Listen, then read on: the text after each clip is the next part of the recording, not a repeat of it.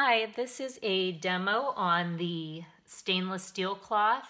You're looking at my stainless refrigerator. Um, so two ways you can clean your fridge. You can spray it with water and then wipe it off with your dry stainless steel cloth, or you can use a wet EnviroCloth um, if you have some tougher spots to get off, um, or just to use it to get um, to dampen it a little bit. So this is my damp EnviroCloth and I'm just giving my fridge a, a wipe here. And then, um, so it's a little bit damp. So this, this way you wouldn't have to use a spray bottle of water.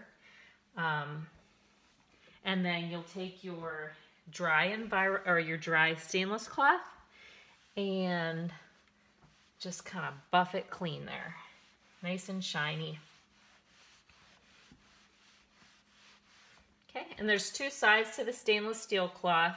One is a little thicker than the other, so um, I did the first wipe with the thicker side, and then I'm just gonna, you know, do a quick, make sure it's perfectly dry, kind of buff, with the, um, the side that's not quite as, as plush. So there you go. That's how you use the stainless steel cloth. Thanks.